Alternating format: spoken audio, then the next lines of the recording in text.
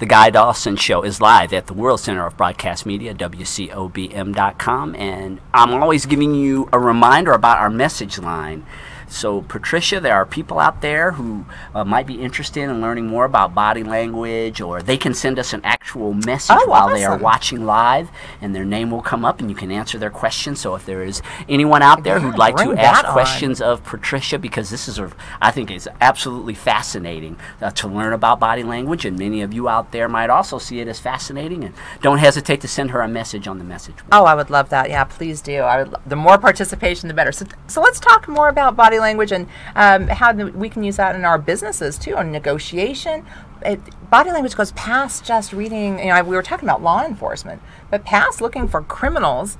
Body language is part of our everyday life. And again, if you think about the value of being able to tell when people are being honest with you, it's huge. Is your spouse cheating on you? Are your children using drugs or hanging out with a crowd they maybe shouldn't be?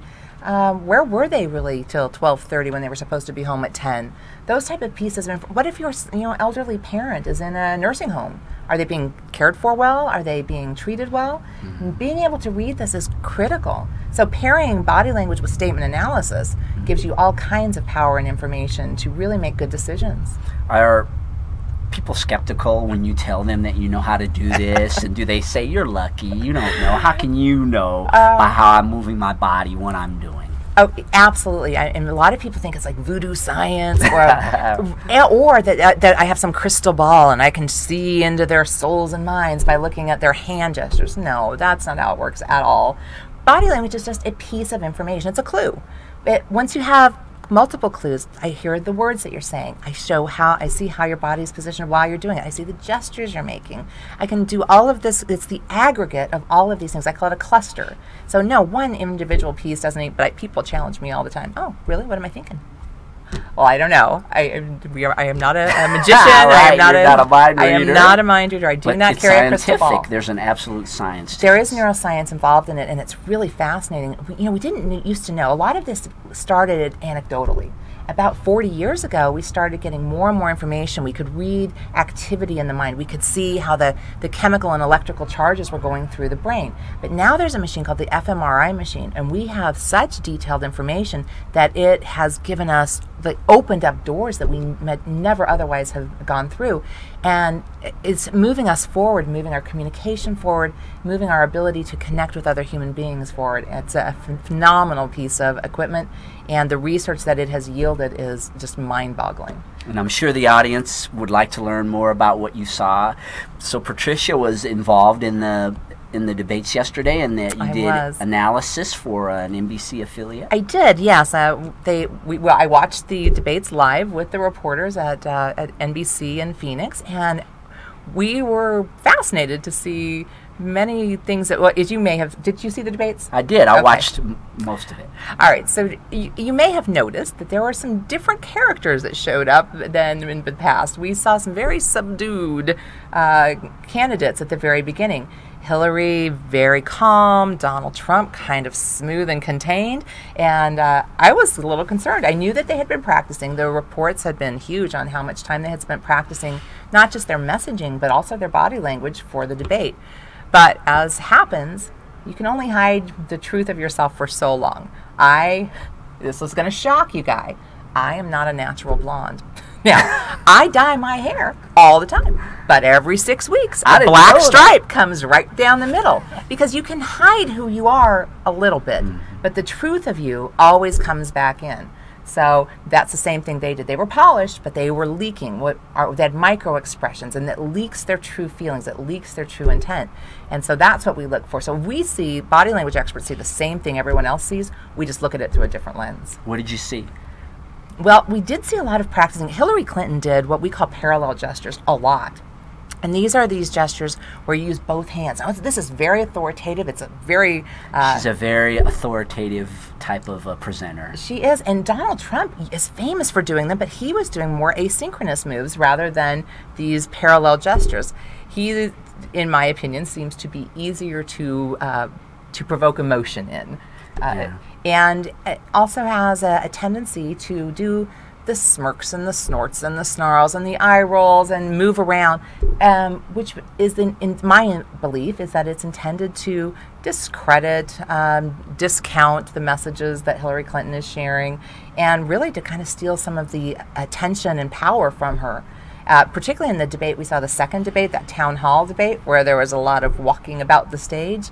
There were some you know, very intentional uh, moves there, in particularly to make her look less than uh, less than credible, less than believable, and uh, this. There's a concept called mirror neurons, emotional contagion. I try to make you feel what I'm feeling by making myself very expressive. And he has that big, huge, expressive face, mm-hmm. and he can show a lot of emotion through that face and he I feel that she actually has the more dominant personality of the two. And so maybe this is a way for him, I don't know. You're the expert, but for me, I'm thinking that he's doing that to try to take some of the dominance naturally a way that she has, just her personality is more dominant. Well, I, I, will say they both are very strong people. they, yeah, they are, when, when someone's more dominant than Donald Trump, that's really dominant. Uh, but I think she is. There was a it, there was a quite a bit of aggression exchanged, but. Uh, when you we, in Hillary Clinton, when you, we see her get into situations where she doesn't, there's something she doesn't want to talk about, something that she doesn't want to address. She, I don't know if you noticed this, but she gets that big smile, this over the top big smile, and not and she's not happy. this is not a happy smile. You can and see that. Yes, we can, can tell, see that. We can tell that because it's not a natural smile. A real smile um, enacts the orbital muscles around our eyes. Your crow's feet.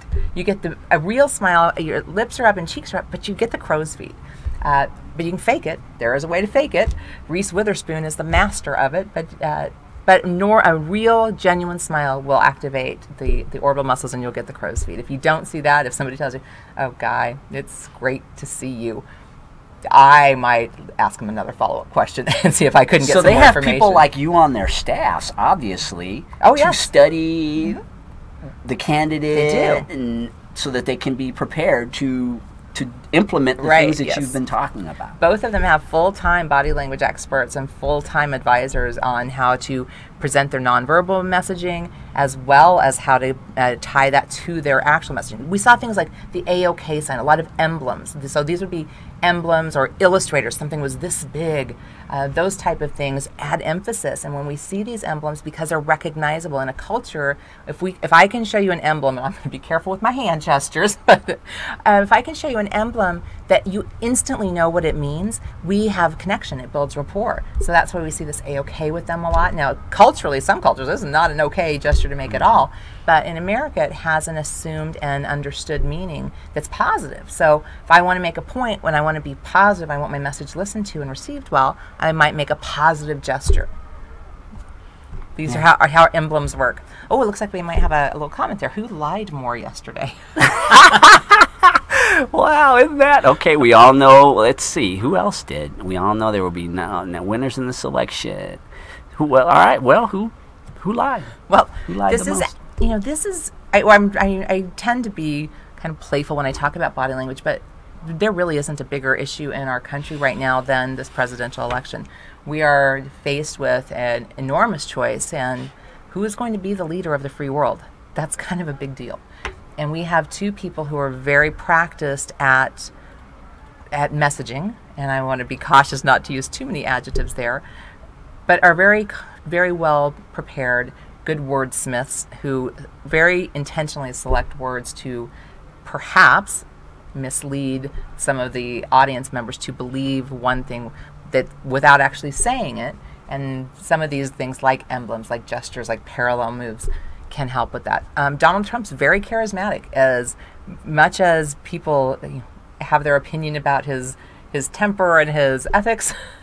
he is very charismatic. He has many of the characteristics um, facially and with his emphasis that add charisma and I, think it's part of what draws people to him uh, magnetically, even in spite of the many other reasons that people may have to uh, not that you necessarily want to invite him over to dinner, but he could certainly be persuasive. Yeah, it's so wonderful to have you on. I'm looking forward to having you come back because I know we could talk so much more yes, we will about this. And uh, Patricia Townsend is a body language expert and uh, uh, someone I've known for many years, and uh, I'm just really looking forward to having you come back and to share more Well- about this. And maybe I'll have some of the guest hostesses with me, and we can play a little bit of a body language We game here in the studio and learn more about one I would another. and- love that. That would be excellent uh, because it's so fun to be actually in the moment uh, and learn how to read. So we'll yeah, we'll absolutely sign me up. I am definitely in, sir. Yeah, thank you so much All for stopping by. My pleasure. All right, we'll be back in a few minutes with more of the Guy Dawson Show at WCOBM.com.